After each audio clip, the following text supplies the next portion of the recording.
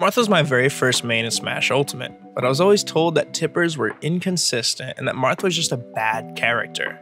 Tippers aren't hard to hit though, and Marth is a phenomenal character with some elbow grease. I'll be showing some crucial steps that'll make Marth tippers easier than ever to hit, and I have a special guest, Aether Espyda, coming in to explain optimal movement and game sense to secure stocks faster than ever. If you don't understand your buttons, then it can be harder to hit tippers, so let's break down each type of attack and the tippers that follow. First things first, I have to explain what moves are good in certain situations. Understanding these moves will aid in hitting tippers and your overall game sense while playing a character. Let's start with your tipper range. The red line displayed on the screen displays the range in which you want to be spaced at all times. While keeping this invisible line in your head, you should consistently be able to space out your options to get tippers. This spacing method is called the red line method, and after training so long, spacing will only be natural.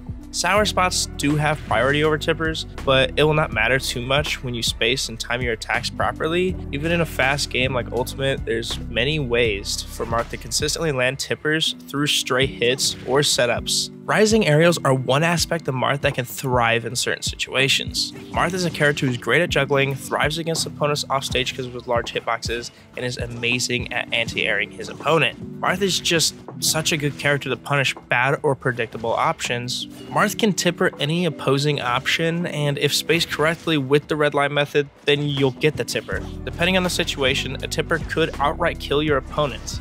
Getting a tipper with a rising aerial isn't that hard though. If your opponent is far, then drift in, and if they are close, then drift away. Marth has excellent aerial mobility and can stuff any option when reacted to. This aerial mobility also makes it extremely easy to pressure opponent's shields. When pressuring shields, you should never do it rising aerial, but steady falling aerial. This doesn't mean you're fast falling, it just means that you're throwing out an aerial as close to the ground as possible and as far away. Marth's air mobility allows for micro adjustments so that you can space to the red line, and this micro spacing will allow you to be super safe. Marth's aerials are all minus 6 or less on shield as long as you are not down airing. Hitting the tipper hitbox on shield also makes your aerials even safer. Up air and nair on shield while max based are minus 3 on shield, and these arrows are really good for pressuring opponents as well as starting combos. The only way Marth can be punished is if your opponent parries the attack, and this is where you mix up your play with tomahawk landings and empty movement. Tomahawk tilts are also really good on Marth and commonly lead into advantageous positions. Make sure you tippered forward smash that subscribe button. Man, I feel cringe for saying that. Down tilt has many follow-ups depending on the opponent's option. Spacing down tilt can condition the opponent to shield, which can get you a grab or any other suitable follow-up. And forward tilt is also a very safe option while spaced that will allow you to either control center stage or prepare for an edge guard opportunity.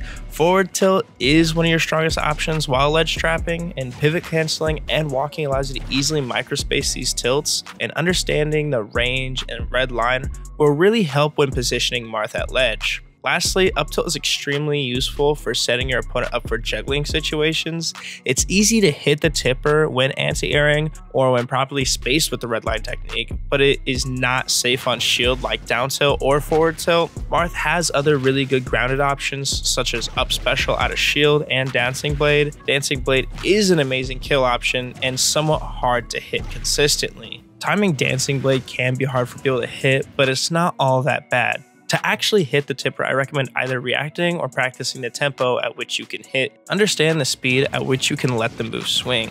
If you throw a completely spaced side special, then you probably won't connect the last hit. So if you do, try to reset or react to an option. Side special isn't the only way to claim stocks though. Aether Espyda has the best advice when it comes to closing out stocks.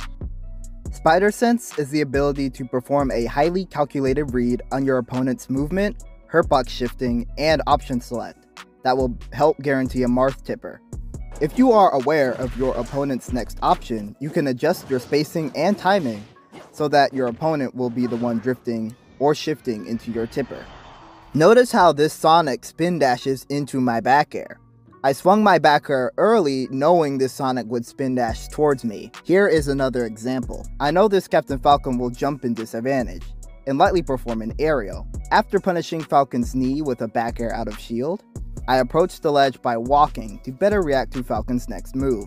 He does indeed jump, so I time and space my forward tilt to catch him mid-air with the tipper hitbox. Notice how regardless of my opponent having a sudden hurtbox shift, it did not matter due to my overall spacing and timing. The tipper leads to a huge KO off stage, and now my lead is extended greatly. Sour spots aren't always bad to hit, sometimes they can lead into combos that will kill your opponent. My best example would be the up air ladders that Marth can perform. Everything talked in the video pairs well with sour spots, so make sure you have an understanding of everything we discussed thus far. But as talked about before, sour spots commonly combo with Marth's tippers as long as you can either get creative or understand the crucial part of the character. I put this section in here because tippers are good, but sour hits have more potential to combo into some of Marth's most deadly options, and that's something that every Marth player needs to understand, especially if you're going to pick him up as a main main or secondary. Once again, my first main was Marth, and I was consistently told that I was trolling for not picking Lucina and that playing Marth was just stupid. I played the game for four years now, and I can beat all the players who used to tell me that. Never give up on Marth and switch to Lucina unless you actually want to. Marth is a fun character who just takes a lot of practice. Never give up on playing a character you wish to play, and if you ever need any help, I recommend hopping over to my Discord server. There's so many players there that can help you improve. I also recommend staying into the channel. If you made it this far, I recommend you watch the video displayed on the screen. YouTube thinks that you liked it, and I think I'd have to agree. I can't wait to see you there. Keep on smashing and hopefully hitting tippers.